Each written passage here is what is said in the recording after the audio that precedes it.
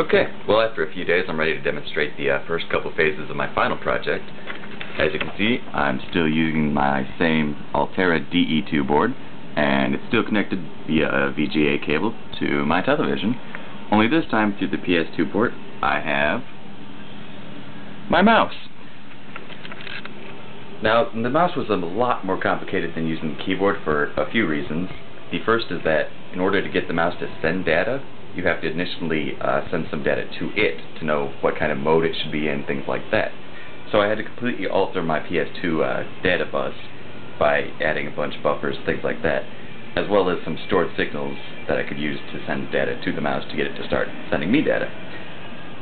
So that was the first complication. The uh, second is that the mouse does not send any stop bits after it sends its data, unlike the keyboard which sends the key code and then the stop bits and then all that stuff. So in order to know when the mouse stops, you have to constantly be checking the data it's sending to see if it's changing. So that added a lot of complexity. But after these few days, I've gotten it to work, as you can see on my television screen.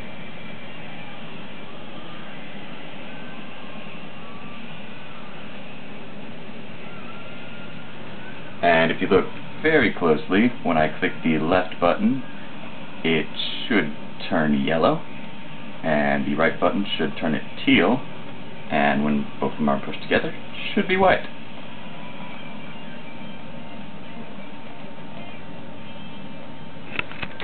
So, that's the first couple phases of my project.